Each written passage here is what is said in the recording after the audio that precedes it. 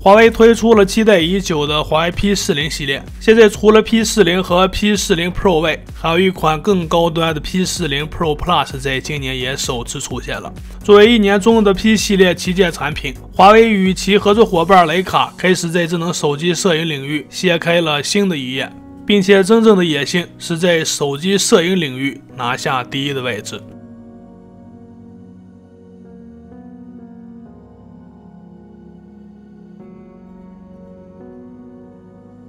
现在华为 P40 系列的出现，可以说是三星 S20 系列的竞争对手。当然，这也包括与其他品牌有一定的较量，尤其是在相机镜头方面。华为所发布的 P40 系列，无论是三摄、四摄还是五摄，它们的主摄都具有一颗五千万像素、f1.9 光圈的 211B 广角主摄像头。与竞争对手的产品相比，这种1.28分之一英寸的传感器尺寸是相当的大了，甚至比 S20 Ultra 的1.33分之一英寸的传感器尺寸还要大。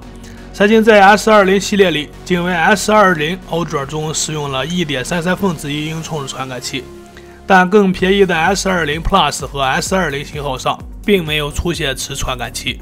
华为则在 P40 全系列中使用相同的主镜头传感器，无论你使用哪种型号，都可以确保获得相同的高图像质量。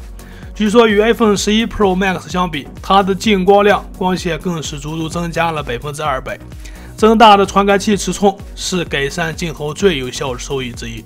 而今年华为的 P40 系列的降临，它是拥有现在智能手机上主镜头最大的传感器。拥有更大的尺寸的传感器，同时而且还不影响机身的厚度。与此同时，华为 P40 系列的主镜头 A S O 值更是可达到了二十万，且百分之百的像素支持相位检测、自动对焦，包括光学防抖。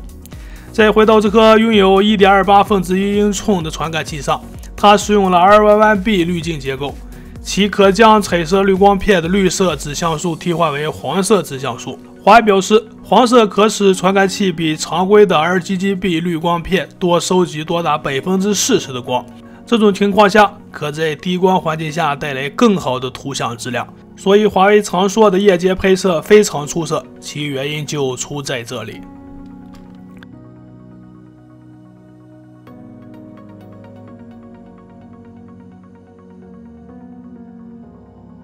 华为 P40 系列里最顶级的华为 P40 Pro Plus 是今年华为推出的首款五摄手机，它的长焦镜头也是一大看点。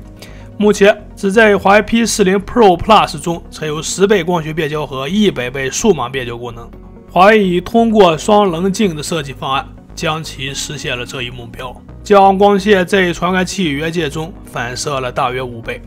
该长焦镜头为八百万像素，光圈为 f 四点四。虽然光圈上有一些损失，但变焦功能却非常出色。该公司还声称，他们改进了深度检测功能，以实现更好的散景。在视频方面，这些摄像头现在都支持七千六百八十帧的慢动作。另外，在考虑到传感器的布置以及机身背部镜头突出的尺寸。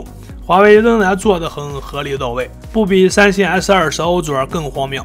它的厚度超过了十毫米，比华为过去的任何其他手机都要突出更多。而华为在这方面既拥有了更大的底，同时也保证了合理的镜头模组突出的高度。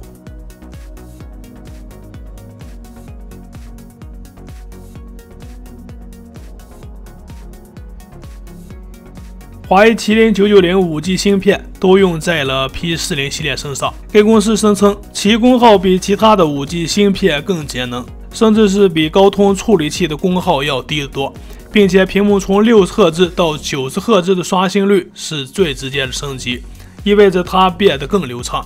当然，这仅是 P 四零 Pro 和 P 四零 Pro Plus 拥有的功能，而且 P 四零 Pro 系列还都具有四千两百毫安的电池。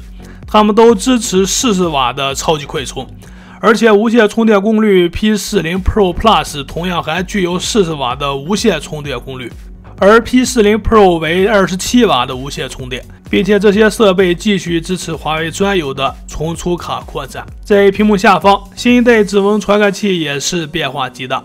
华为声称，新设备能够以更快的速度响应。解锁速度大概有了提升百分之三十，从而提高了设备解锁的易用性。